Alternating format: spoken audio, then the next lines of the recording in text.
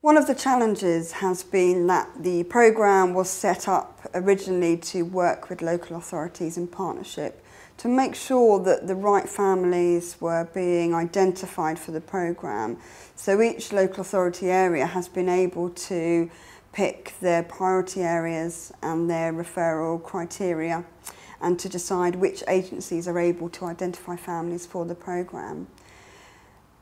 This hasn't always resulted in the number of referrals that we were expecting. Referrals have been low across the southeast, um, in part because of the confusion with the Department of Community and Local Government programme and their own troubled families programmes, with lots of the referring agencies getting quite confused about the difference between their troubled families programme and progress. So referrals have been low.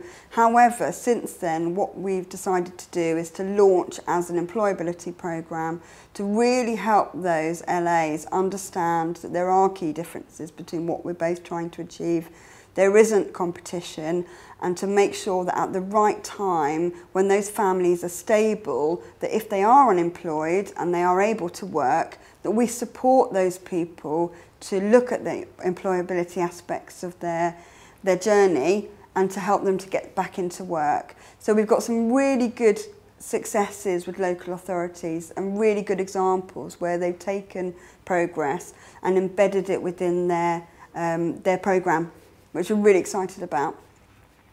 Another challenge is Job Centre Plus. Uh, we know that job centres are working with and seeing families every day that could really benefit from a, a programme like Progress.